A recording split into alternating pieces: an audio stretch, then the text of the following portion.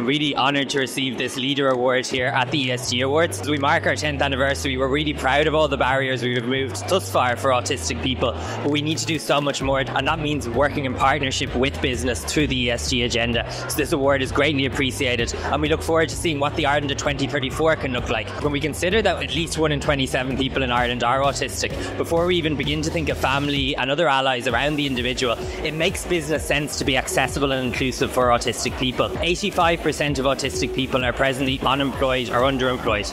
Obviously, that has a devastating impact on individuals, but it represents a massive loss of skill and potential for society. So you can contact AsIAm today and we can support you in going on the journey to, towards becoming an inclusive employer. Our vision really captures the future of Ireland that we want to see, and that is an Ireland in which every autistic person is accepted as they are, equal, valued, and respected. We still comment far too much when autistic people have the outcomes that are mundane and expected of everybody else. So it's an Ireland with much higher expectations for autistic people. Expectations that autistic people will have the same chance to live, work, and play in the community like everybody else.